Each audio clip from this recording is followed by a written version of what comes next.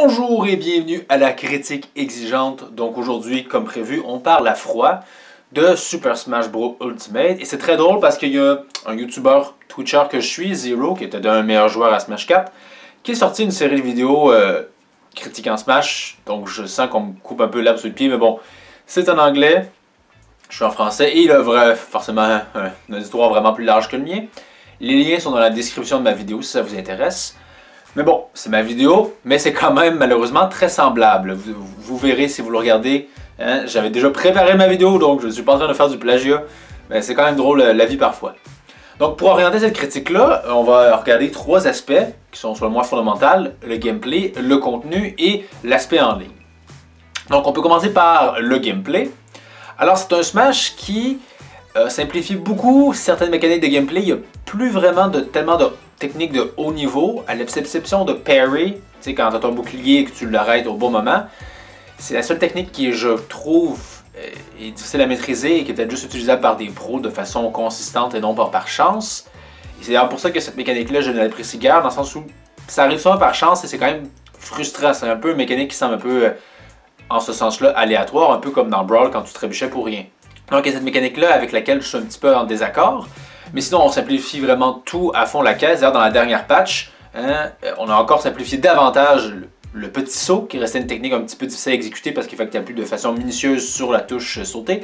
Maintenant, tu as juste appuyé sur deux touches sauter en même temps pour effectuer un petit saut. Donc, on a vraiment simplifié le gameplay. Et ce que ça fait, surtout, c'est que Smash, ça a toujours été ça, mais là, ça n'est vraiment presque que ça. C'est-à-dire être imprévisible dans son style, et savoir prévoir ce que l'autre va faire. Et c'est pas plus mal, ça rend le jeu justement accessible, mais ça ne le rend pas plus... Euh, tu vas toujours rencontrer un joueur qui justement maîtrise bien ces aspects-là et va te défoncer la gueule. Donc, euh, c'est vraiment un bon jeu de gameplay. La physique du jeu aussi est très différente. J'étais très perturbé euh, en passant de Smash 4 à celui-là, mais une fois que tu t'habitues, ça marche crème. Ensuite, il y aurait le contenu et le online. C'est donc les deux points sur lesquels je vais en dire le plus. Donc, au niveau du contenu, c'est là que je suis un petit peu déçu. On peut y aller par les bons points en premier lieu. Tu as le Classic Mode que je trouve très appréciable. Sa personnalisation selon chacun des personnages, c'est le bienvenu. Le fait que ça se conclut par des combats de boss, ça donne envie d'essayer parce que tu as envie de voir comment, pour ce personnage-là, le Classic Mode fonctionne. Donc euh, là-dessus, je trouve que c'est une belle réussite. Et mes bons points, ça répéterait peut-être là. Il y a le Squad Strike qui est agréable. Et peut-être certains petits modes ici et là, mais en termes de contenu, je suis un peu déçu oui, il y a plein de personnages, mais, comment dire, la façon dont il débloque, je la trouve un petit peu décevante. Également, on a tous les stages dès le début. Ça aussi, la façon dont on les débloque, c'est un peu dommage. Parce que il faut que le contenu à débloquer t'encourage à explorer le contenu déjà présent. Aurait fallu que je pense qu'on s'inspire plus d'une certaine logique qui, je pense, malheureusement existe de moins en moins dans les jeux vidéo depuis environ 15 ans. C'est-à-dire qu'il faut que tu fasses des efforts pour débloquer les jeux. Parce que dans Smash, et c'était pareil dans Brawl aussi à l'époque, et peut-être dans Smash 4, t'as des espèces de succès. Hein? Fais telle affaire et on va te récompenser avec un petit dessin et te dire félicitations, tu le fais. Mais c'est de la récompense un peu poche, je veux dire, à son presque plus bas niveau. Tu vas le faire si vraiment tu veux le faire, mais sinon, ça sert à rien. Alors ce qui aurait dû être fait, selon moi, c'est que justement ces personnages-là, faut que tu les débloques en faisant le contenu selon certains critères qui respectent un ordre de logique. Par exemple, si tu veux débloquer Luigi, ce que tu pourrais faire, c'est finir le Classic Mode avec Mario. Et de la même façon, si tu veux débloquer Dr Mario, tu finis le Classic Mode avec Mario ben, à un niveau de difficulté supérieur à 9. Et ainsi de suite. Pareil pour les tableaux, etc. Ainsi, tu des... Le, fait de vouloir débloquer les personnages, ça va te faire essayer ces différents modes de jeu-là, essayer le mode classique avec certains personnages, et même que tu pourrais, par exemple, avoir les personnages euh, débloquables en finissant le mode euh, difficulté euh, hard, difficile, de World of Light. Parce que justement, on embarque justement dans ce mode de jeu-là. T'auras pas, je pense, de raison de faire ça. World of Light, il y a des gros problèmes, mais il y a aussi des qualités quand même. C'est que ça semble être un mash-up, une réunion d'éléments des précédents Smash, mais, en ajoutant des points faibles, par exemple. Parce que World of Light, ça a des éléments de RPG, et là-dessus, c'est bien les esprits que tu peux avoir pour, euh, dire, aborder chaque combat d'une façon différente, c'est bien, j'apprécie ça. Mine de rien, ce que je faisais souvent, c'était euh, m'assurer que les punches de Little Max sont les plus dévastateurs possibles et pouvoir tuer n'importe quoi avec deux coups de poing, c'est agréable. Mais, bon, t'as des esprits qui sont intéressants, mais encore une fois, t'as des esprits qui sont vraiment euh, random, des esprits qui font à peu près la même chose. C'est un peu comme le problème Pokémon, t'en tellement que ça devient malheureusement un peu inintéressant. Donc euh, là-dessus, je trouve que c'est un petit peu dommage. Et également, t'as des combats de boss dans Super Smash euh, dans World of Light. Il y a des nouveaux boss et c'est bien. Mais ce que je comprends pas, c'est qu'il y a un des boss de Smash euh, Brawl qui est revenu, Galem. Mais pourquoi juste lui Hein? Pourquoi est-ce qu'on n'a pas ramené l'autre robot dont j'ai complètement oublié le nom, Rezegra et les autres boss? C'est Smash Ultimate. Techniquement, il aurait dû avoir le plus de contenu possible. Je trouve ça regrettable qu'on en ramène un, mais pas les autres. D'autant plus que euh, World of Light aurait eu besoin de ces combats de boss supplémentaires-là parce que World of Light, c'est un peu aussi le mode event hein, qui était présent dans Melee et dans Brawl. C'est-à-dire c'est une succession de combats avec des euh, caractéristiques différentes qui les rendent un peu uniques. Le seul X, c'est que s'il y a des combats mémorables, et par exemple, je pense notamment quand il faut que tu te battes contre les Megaman Metal, ou quand tu affrontes euh, Zero Suit Samus qui est habité par l'esprit de boss, pour chacun de ces combats mémorables-là, tu as probablement 5 combats lambda à côté. Des combats qui sont là très clairement juste pour allonger artificiellement la durée vie du jeu. Hein? Dans le mode event, habituellement, c'est comme 50, 40 combats qui sont tous relativement uniques. Hein? Il n'y a pas trop de, combats lambda que tu dis, oh, ça sert un peu à rien ça. Ici, c'est largement le cas pour allonger inutilement la durée de vie du jeu. Donc, des combats de boss qui auraient pu un peu enlever ces combats-là inutilement et mieux rythmer le jeu, ça aurait été très intéressant. D'autant plus que l'histoire avance à peu près pas. Hein. Tu as un début, un semblant de péripétie et un dénouement. Donc, tu ne refais pas le mode histoire pour. On est, vraiment très loin de Brawl avec ces hmm, centaines de cinématiques, ou un très grand nombre de cinématiques. Et pourtant, tu vois quand même que parfois il y a un certain potentiel. À la fin d'un boss, euh, un boss rush où tu affrontes chacun des boss, qui était présent dans Brawl comme un mode à part. Ici, ce n'est pas le cas. Il faut voir que tu refasses le mode World of Light pour le faire. Et je ne suis pas sûr que tu as envie de te taper tous ces combats lambda qui ne servent à peu près à rien. De la même façon, à un certain moment donné, très intéressant, tu joues avec The Master End. C'est nouveau ça, mais le problème c'est que ça ne va pas devenir un mode à part, alors que ça aurait pu être light, ça aurait pu être très intéressant. Ou de la même façon, on aurait pu faire, nous faire jouer d'autres boss, hein, jouer avec Giga Bowser. Hein, pourquoi pas?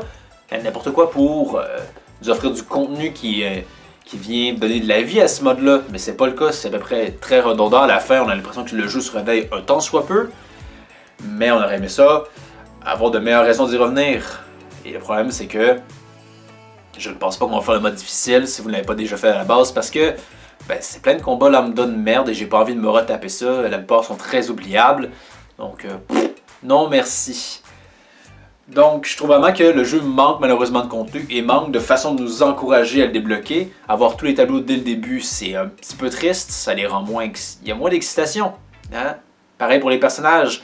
Parce que ce que je viens de dire par rapport au fait de débloquer les personnages avec Mario, etc., ben, jeu le fait en partie. Le seul moyen de débloquer les, les Mi Fighters, c'est de faire le mode World of Light. Et oui, on peut débloquer les personnages en faisant le World of Light, mais c'est pas la seule option possible. Hein. On peut juste jouer, ils vont nous apparaître dans la gueule.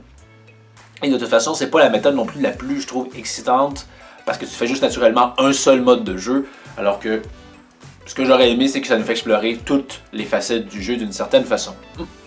Maintenant, pour ce qui est de l'aspect en ligne du jeu, parce qu'on s'entend que de nos jours, les jeux sont majoritairement joués en ligne, et c'est d'ailleurs majoritairement ce pourquoi j'ai réussi à passer 125, 130 heures sur euh, Smash Ultimate, c'est Roy mon main. Mais force est d'admettre que euh, le online de Smash 4 était, à mon avis, bien meilleur parce qu'il se focalisait davantage sur l'idée de, jouer et sur des grandes règles euh, de, combat. Alors que Smash Ultimate, ce qu'il va faire, c'est focaliser sur la personnalisation de chacun de nos désirs. Et le problème, c'est que réussir à faire en sorte qu'on concorde, ensemble, ben forcément, c'est pas facile. Parce que sur le online de la Switch, tu as deux façons de jouer si on veut, c'est le Quick Play et faire des Battle Arena. En Quick Play, tu mets tes règles de préférence et t'espères que ça va se produire. Au début, ça arrivait pas souvent, avec la dernière patch, ça arrive plus souvent, mais n'empêche que c'est toujours frustrant de. faut toujours que tu sois à l'affût. Parce que ça se peut que des fois, ah, ce coup-ci, moi j'ai demandé trois vies, hein, et ce coup-ci, ah, juste deux, ce coup-ci, juste une.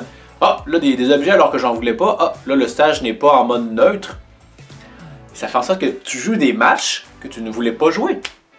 C'est bien dommage, je trouve.